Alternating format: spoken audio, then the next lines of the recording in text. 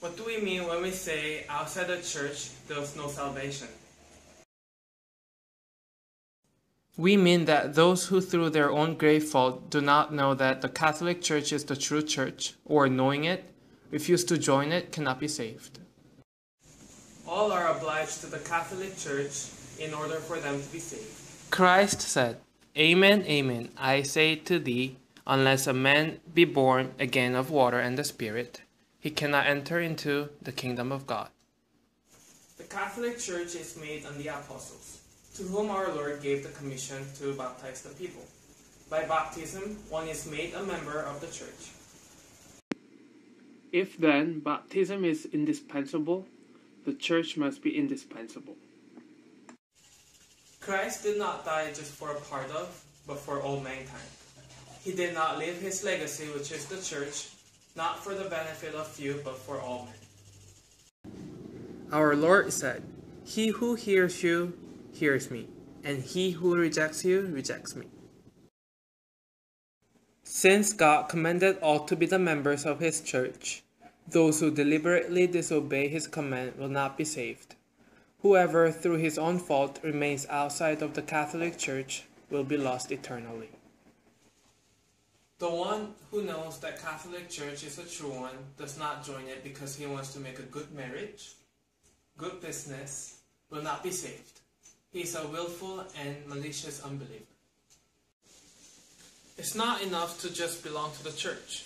We also have to live up to our beliefs. Otherwise, our membership will only lead us to a greater condemnation.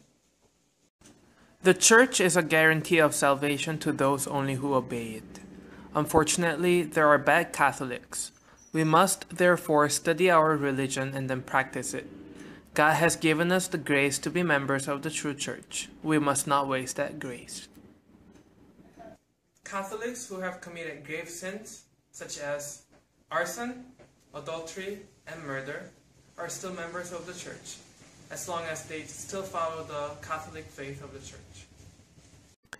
Catholics in grave sin are called dead members, for their soul dead in mortal sin. Nevertheless, they remain members and have the privilege of receiving the sacraments to wash away their sins. Christ himself predicted that in the church there would be bad people.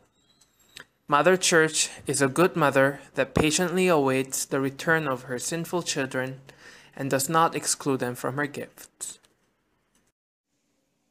Excommunicate is the one that has been cut off from the membership of the church for some serious sin against the faith. In order for him to become a member of the church, a bishop has to give him an absolution in the church. Can they be saved who remain outside the Catholic Church just because they do not know it is the true church? The answer is they who remain outside the Catholic Church through no grave fault of their own and do not know it is the true church can still be saved by making use of the graces which God gives them. God condemns no man except for grave sin. Therefore, he will not condemn those who through no fault of their own are unaware of his command to belong to the true church, provided they serve him faithfully according to their conscience, have a sincere desire to do his will in all things, and therefore implicitly wish to become members of his church. They are members of the church in desire.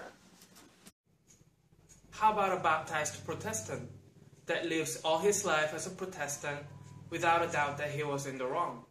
Well, he can still be saved if he makes a perfect contrition before his death for the sins that he has committed. It is possible for one that has never even heard of Jesus Christ for God wishes all men to be saved and to come to the knowledge of the truth. And Christ died for all. In order that such a one may be saved, it is required that he observes the natural law. With the help of God, everyone having the use of reason can do that. The fact that it is possible for those outside the church to be saved should not make us lose the sight of the disadvantages that they are under compared to the Catholics.